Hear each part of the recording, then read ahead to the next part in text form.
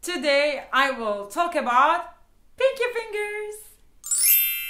I would like to talk about this because I see so many students using their fingers wrong actually. They're not doing this curl movement with the fingers when it comes to play faster passages and when it comes to use them like smooth, you know.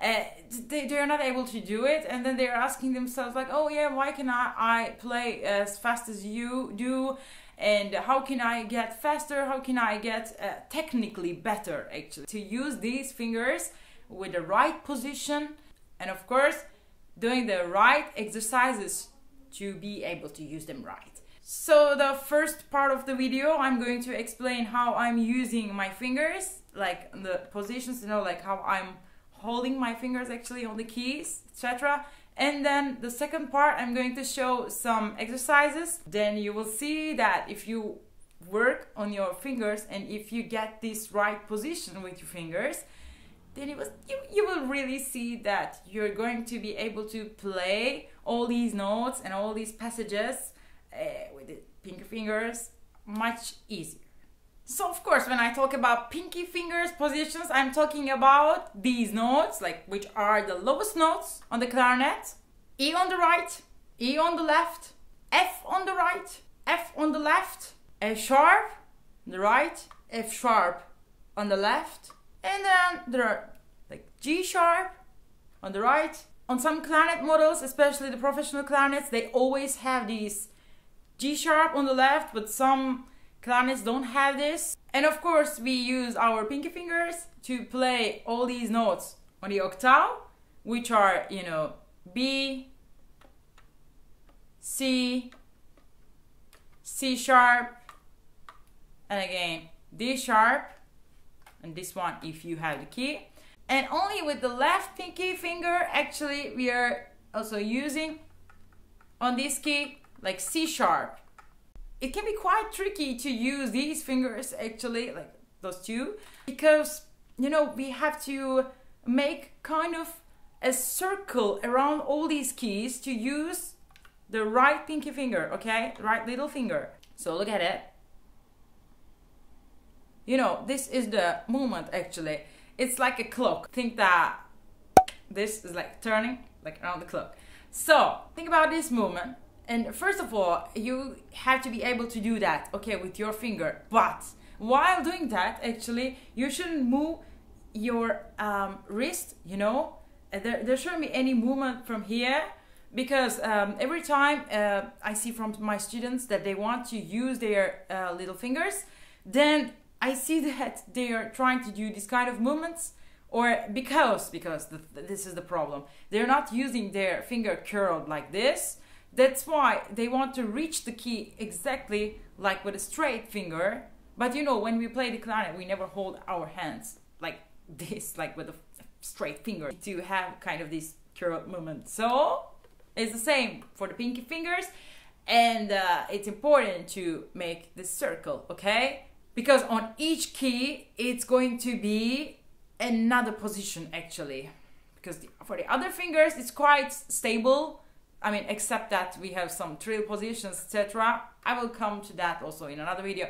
But, you know, especially these little fingers have a lot of job to do. So this one is like this. The other one is quite the same. And we have another one, of course, always the same. You should curl your finger a little bit and you should do no movement from your wrist. Okay, everything should stay uh, like let's think like this. On the tip of your finger okay? Tip of your finger. It's just this moment. I really have a short finger uh, on this left side. That's why i cannot really curl it. And i use it kind of like straight. I mean you are going to see it like that way. But actually i'm just trying to reach the key. That's why uh, it looks kind of like I'm using like a straight, but actually it's a little bit curled. You can see that if I do that, not not that much, but you know this, then I can reach the key, but it's still not like this, you know. What I mean, this is like reaching the keys with the pinky fingers. This is wrong, but yeah, this is also. I mean, if you have short finger like me, then this is also acceptable. Because yeah, it's your anatomy, you can't change it for planet. Poor you. Okay, but it doesn't matter. Even if your finger is short or long, you should do kind of the same movement. If you have longer fingers, this is even more dangerous to use them like straight or like flat like this, okay? So, this is the basic. So imagine that your little fingers are independent. They are working independently with this movement around here, okay? Now I'm going to show you some exercises you probably know this, but there's this exercise which is really common, but I'm going to remind you just play, by playing it.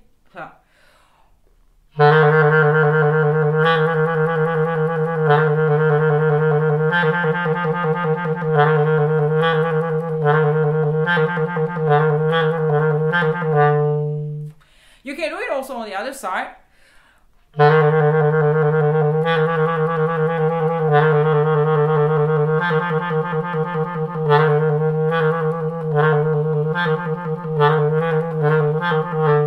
So this is the basic exercise, then you can continue with the F, F sharp, you know.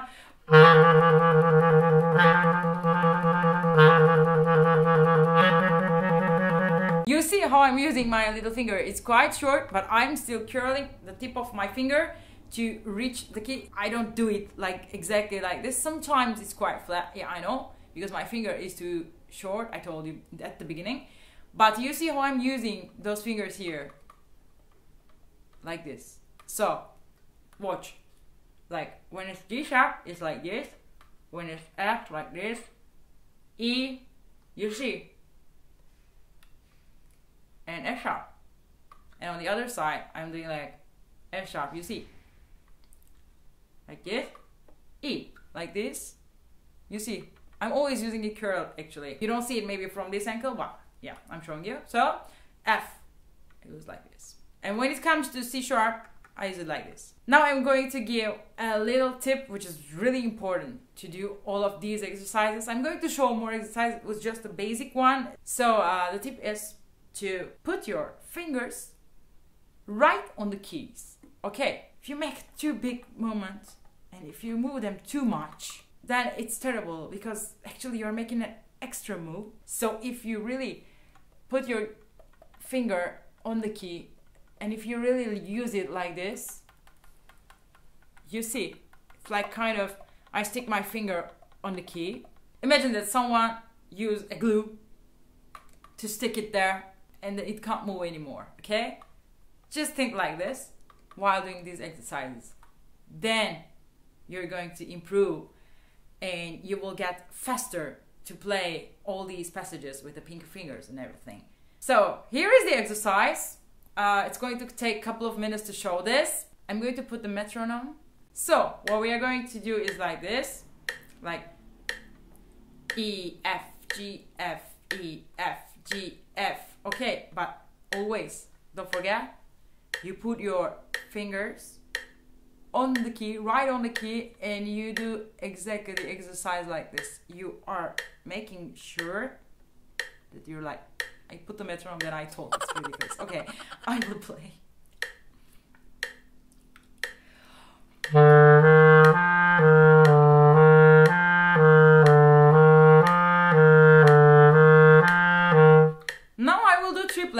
So I get faster, slowly, slowly, okay?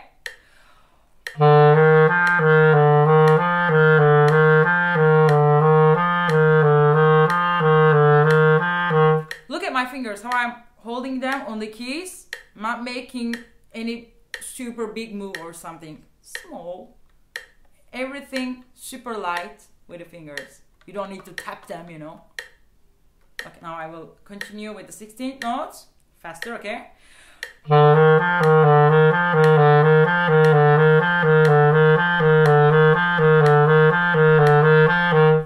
Now double triplets.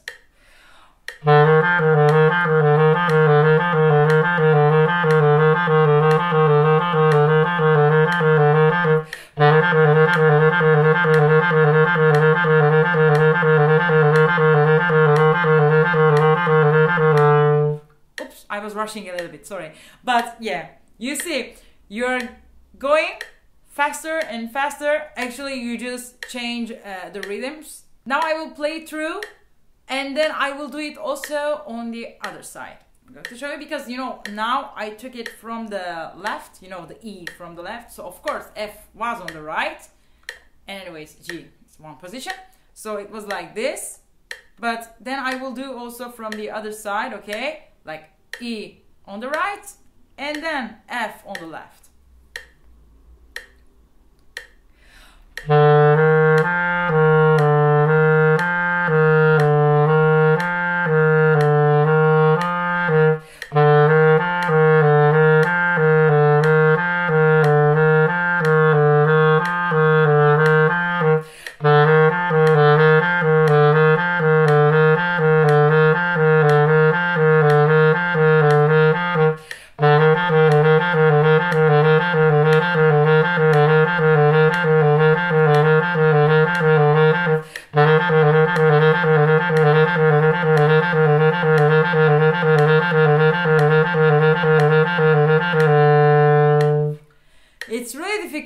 Also struggle at the end because getting faster and I really try to hold my fingers on the keys. When you try to do the exercise exactly how I do, you will understand why the struggle is real. okay, now I'm doing on the other side.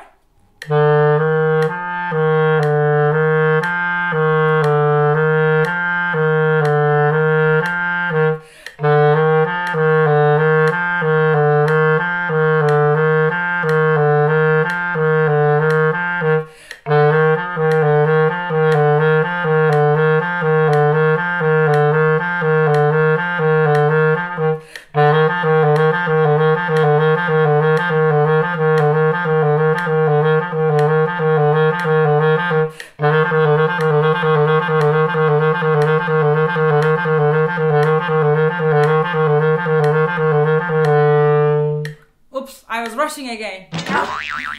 Okay, you're going to do it better than me, okay? so the first time we did E, F, G. Now we can do E, F, G flat. The same thing. And on the other side, E, F, G flat. I will show you just to show how I'm using my fingers.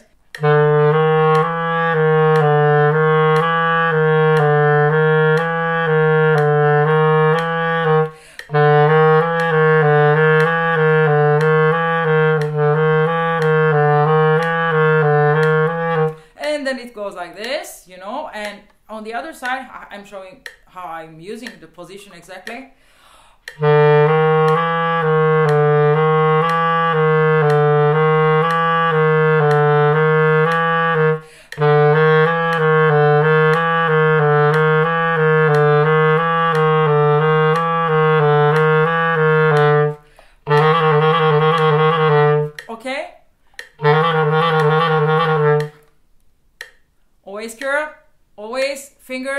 Much as possible on the keys.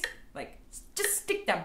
Yeah, of course you can do also like uh, E F G sharp or E F G sharp if you have the key on your clarinet from the other side, and then you can also do E F sharp G, E F sharp G, E F sharp G sharp. You know, again with this bass i think that it's going to be really helpful to work on your pinky fingers just do them on the lower octave because it's more uh, you know resistance of course i told you that we are using also this pinky finger on the left side uh, also to play uh, stuff with this c sharp okay when you play c c sharp it's just this movement Okay, you can always work like this trill exercise, whatever. Okay, I will cut the metronome. There are uh, more stuff which are complicated, like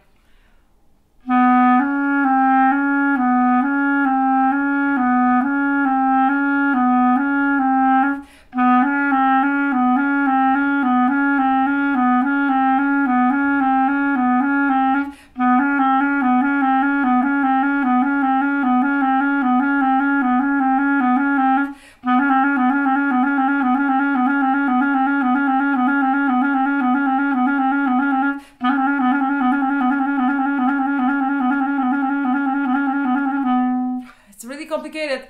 You should really concentrate. You should really be able to um, see and count and sing in your head what you have to play and leave your fingers relaxed actually because if you are too much you know with the fingers then it's not going to work like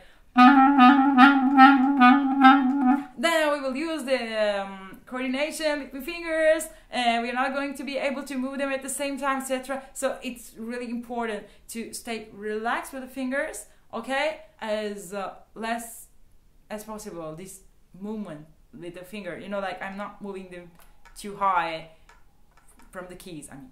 When you do your technical exercises especially where you have only three notes like this one just try to concentrate and try to move your fingers as less as possible. So you can of course vary all these exercises that i showed you with this c sharp. You can also do